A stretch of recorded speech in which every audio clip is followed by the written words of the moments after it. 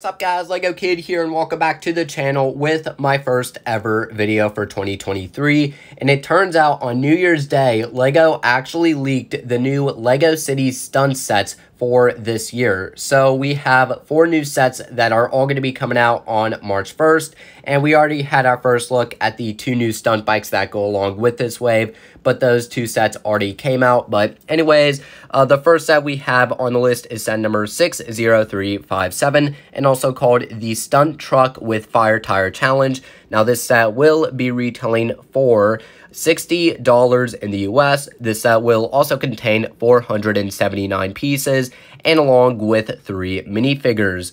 So first off, um, for what you get here in this set, I would say, you know, overall the set is pretty decent. So we do have a build for a stunt truck. So I do like the crazy look for the cab and the trailer, but we've already gotten a stunt truck before in one of the previous waves for um, stunts here. And fun fact, I actually got that set just recently, but I still do really like the look for the truck itself and also the use of those new flame pieces too, which looks so cool.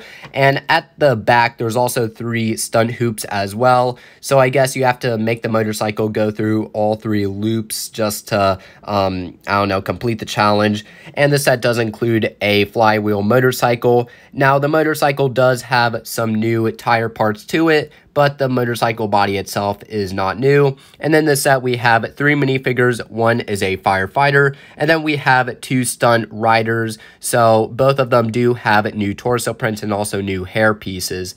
And then next up, we have set number 60359, and also called the Dive Challenge.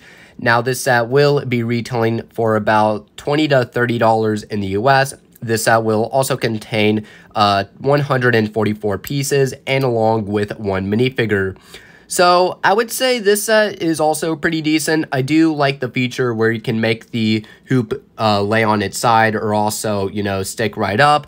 But I also really like the new mold for the motorcycle piece here, which makes it look like a Velociraptor from Jurassic World. So yeah, I really like this new um, stunt motorcycle body piece, and the minifigure also looks pretty cool. And I also really like the build for this stunt challenge here with a new recolor of the ramp piece in purple. And yeah, I like the entire concept, and it looks like a pretty cool set to get.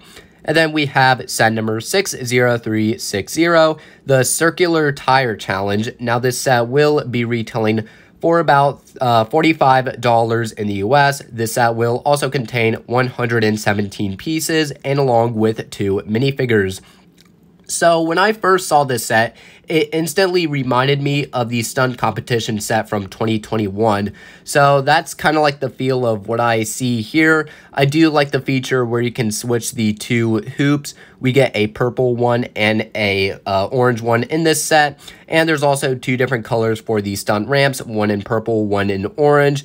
And there's also two motorcycles as well. And the minifigures look pretty cool too. And they actually give me a Nexo Knights feel, if you know what I mean. So yeah, I do like everything that gets included in this set. So I may, may or may not end up picking up this set. But for $45, uh, I don't know if the price really fits it, but I mean, it's still, it's a really cool set to get. And then finally, we have set number 60361, and also called the Ultimate Stunt Driver Challenge. Now, this set will be retailing for $100 in the US. The set will also contain 385 pieces, and along with four minifigures. Oh boy. Okay, so this is probably the one set out of this entire new wave for LEGO City that disappoints me a little bit. First of all, the price, $100.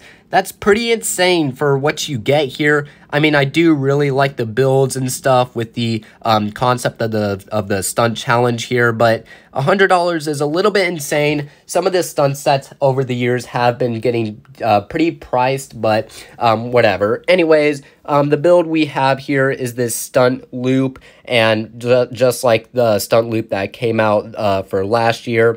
And then we also have a stunt hoop, as well with some electric sparks on the side of it. And then we have this pretty crazy looking stunt tower where you can make the motorcycle go up it and try to knock down that UFO at the top. So yeah, I do definitely really like the builds for everything you get in the set. Not only that, but the minifigures are also pretty cool. So we have this um, stunt show host, and then we also have a photographer in the set.